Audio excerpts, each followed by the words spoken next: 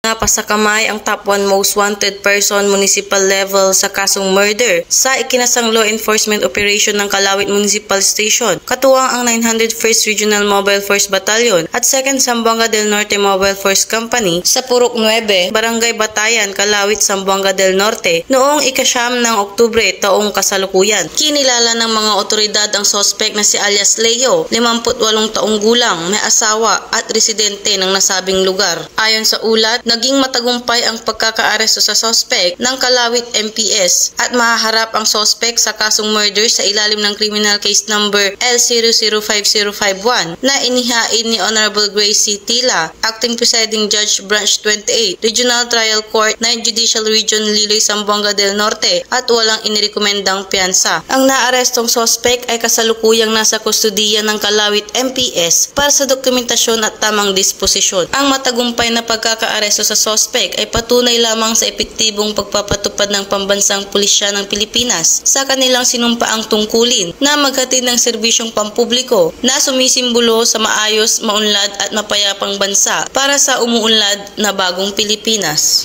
Mula dito sa Zamboanga Peninsula, ako ang inyong PNN correspondent, Patrolwoman Luis Mariconde. Alagad ng batas, tagataguyod ng Balitang Pulis.